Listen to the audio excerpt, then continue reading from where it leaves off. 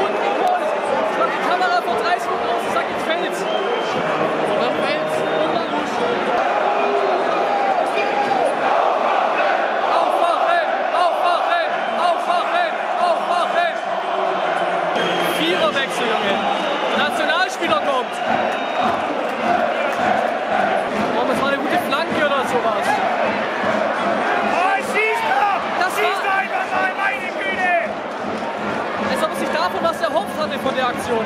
Uiuiui.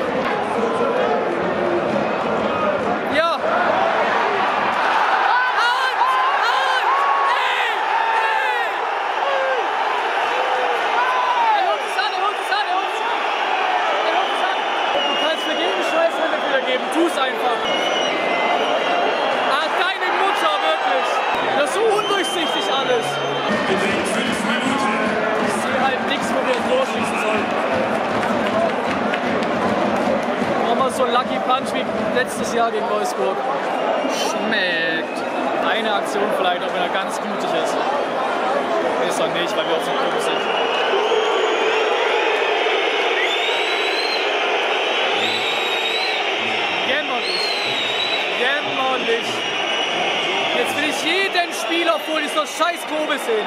Wenn ich einen sehe, der Abbau, Alter. Wenn ich einen sehe, der einfach heimgeht.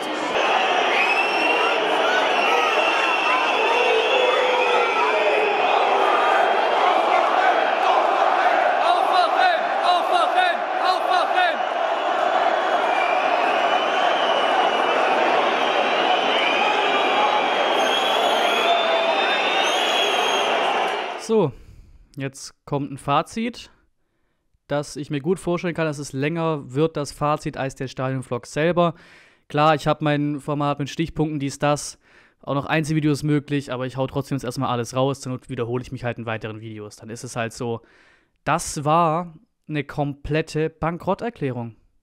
Fertig aus, das war eine komplette Bankrotterklärung. Von Minute 1 an bis Minute 90 nichts. Nichts. Überhaupt nichts.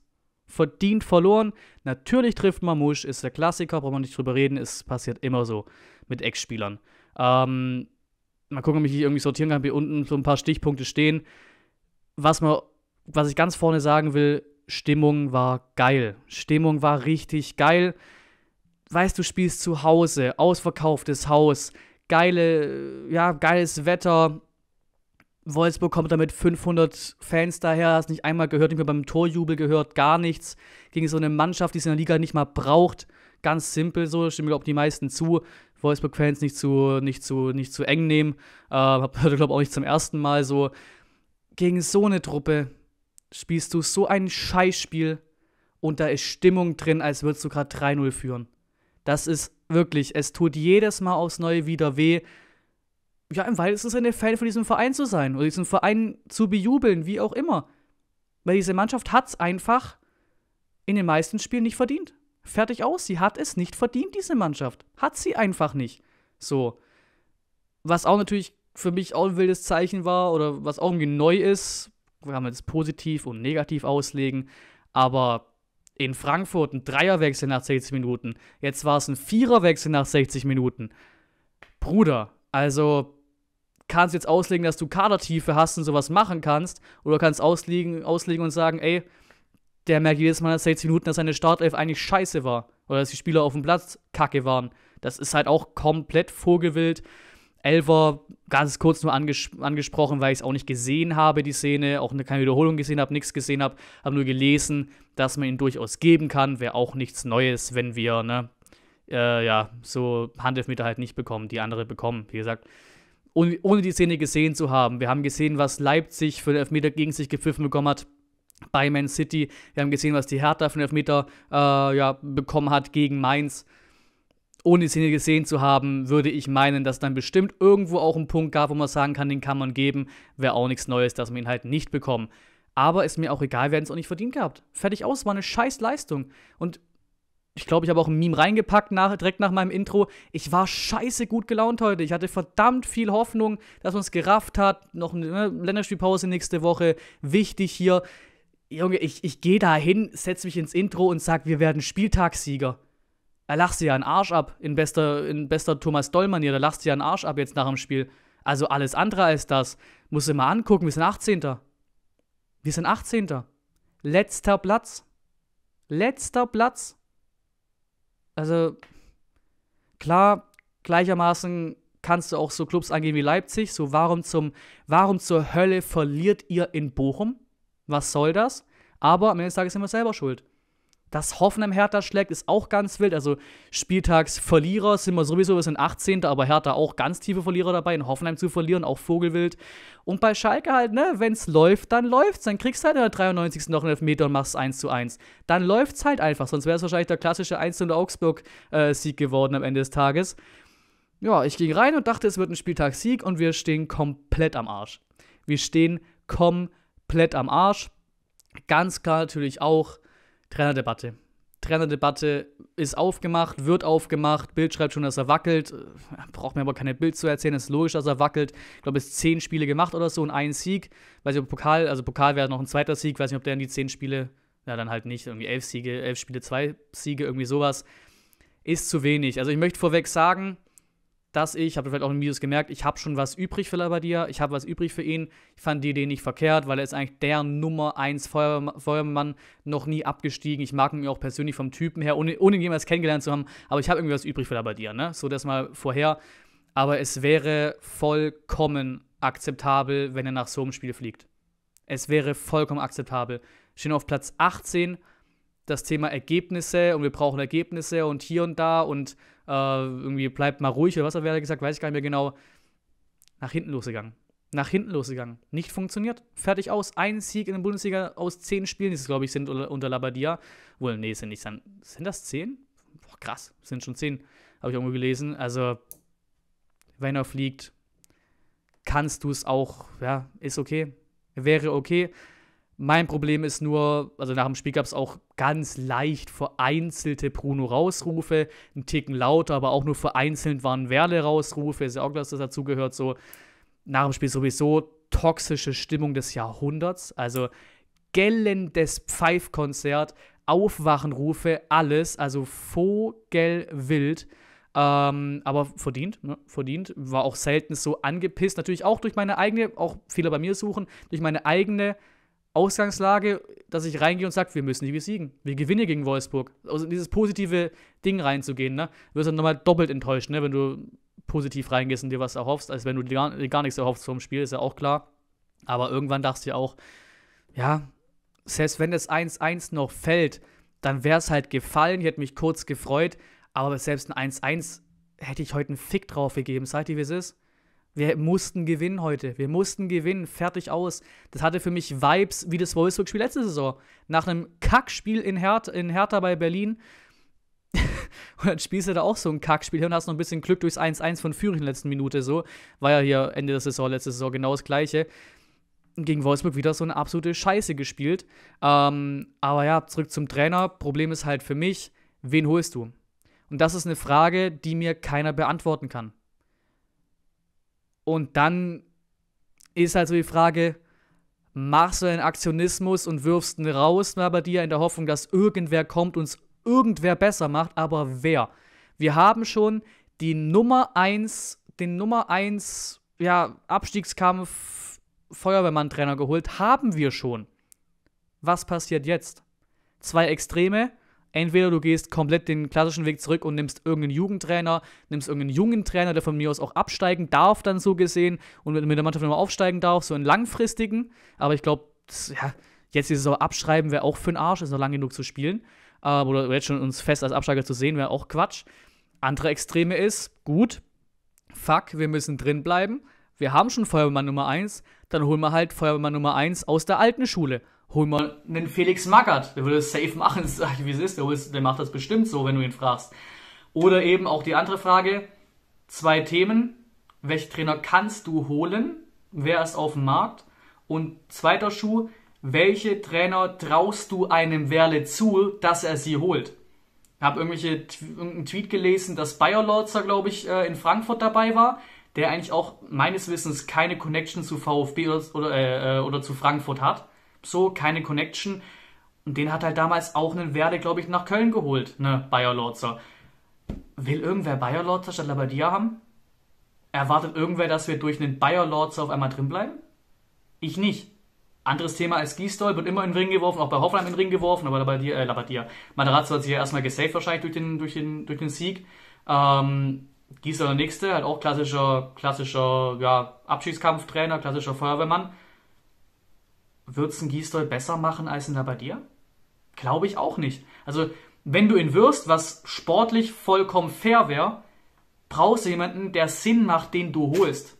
Nummer eins. Und da sehe ich gerade keinen. Überhaupt keinen. Gleichermaßen muss man sagen, wenn du jemanden werfen willst, noch was ändern willst auf der Trainerbank, dann jetzt. Du hast jetzt die Chance, dass der neue Trainer zwei Wochen hat bis zum Unionsspiel. Letzte Länderspielpause der Saison. Danach kommt keiner mehr.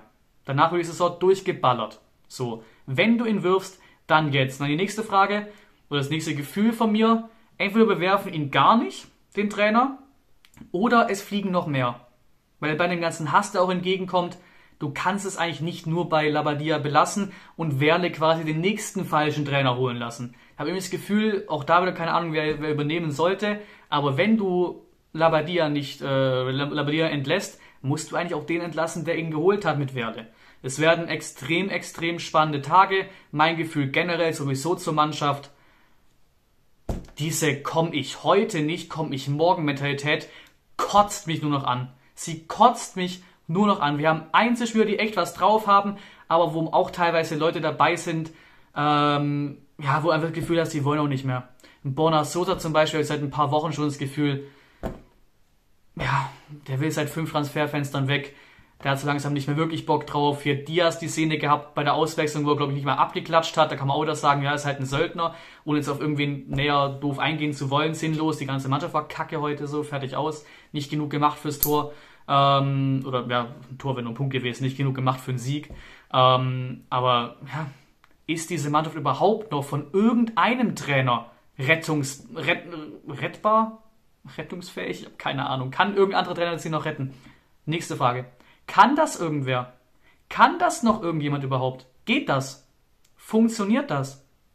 Wir haben die gleichen Probleme seit drei Trainern. Denn selbst wenn wir gut spielen, Chancenwucher hatten wir unter Materazzo. Wir hatten ihn unter Walter davor auch schon. Wir hatten ihn unter Wimmer. Wir haben unter Badia in guten Spielen den Chancenwucher. Und dass man die Spiele nicht zumacht. Ne? Und mental. Es ist nicht seit gestern so, dass sie im großen Schaufenster gegen Bayern, gegen Frankfurt, bliblablub ihre Topleistungen abliefern und dann gegen Wolfsburg und so kleinere Geschichten spielen, ja, nach Motto, ja, wenn wir heute nicht, nicht gewinnen, halt nächste Woche irgendwann. Ist diese, ist diese Mannschaft spielerisch und mental überhaupt noch trainierbar? Ganz, ganz langer Shot vielleicht, ganz, keine Ahnung, wilder Hot Take, vielleicht auch nicht. Aber ich glaube echt, dass es dass selbst eine Trainerentlassung scheißegal wäre. Die bringt vielleicht ein, zwei Spiele noch irgendwie einen Impuls oder so, aber diese Mannschaft hat einfach ein Kernproblem. Sie hat ein Kernproblem. So, werden spannende Tage. Scheiß Spiel, Bankrotterklärung. Mal gucken, ob Labadia fliegt oder nicht. Habe jetzt hier einiges gelabert. Das Ding ist auf jeden Fall länger, das Fazit, äh, als der Vlog. Ähm, ja, eure Meinung in die Kommentare. Wahrscheinlich ist er eh schon da äh, in dem Zeitpunkt, wo, wo hier der, das Fazit kommt, wo ich das hier sage. Ähm, sieht nicht gut aus. Nach der Leistungen wohl gegen Bayern gesagt, ey, war echt in Ordnung, in Frankfurt auch in Ordnung. Kommt so eine Drecksleistung gegen Wolfsburg, Woche Länderspielpause und die, ja, die wird heiß die Woche, die wird wild, die wird lang, die wird Gerüchte, gerüchtemäßig voll. VfB-Fan sein, halt. Ich glaube, so kann man es ganz gut zusammenfassen. Bedanke mich trotzdem fürs Zuschauen und bis zum nächsten Mal.